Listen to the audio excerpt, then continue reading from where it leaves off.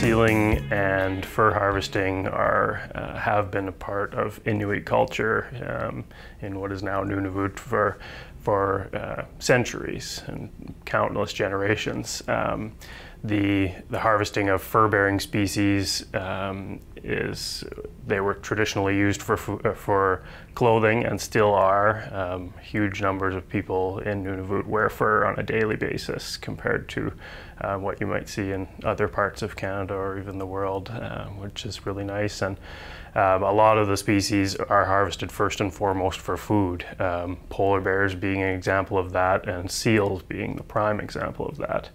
Um, so those animals are harvested as preferred food species. They're they're readily available. Um, they're abundant and well managed, and uh, the fur that results from uh, seals, for example, is just a, a really beautiful, useful um, byproduct of that food harvest. Uh, even if there was no fur uh, value on the animal, they would be hunted for food um, because they're um, they're just a highly nutritious animal, and uh, it's something that most people, um, even to this day, were raised eating. So it's a favorite cultural food. And then um, some of the skins are sold commercially and tanned and sold through our fur program, um, but a large percentage are still uh, prepared in the home in traditional ways and used for footwear, clothing. Um, um, outerwear on a, on a daily basis.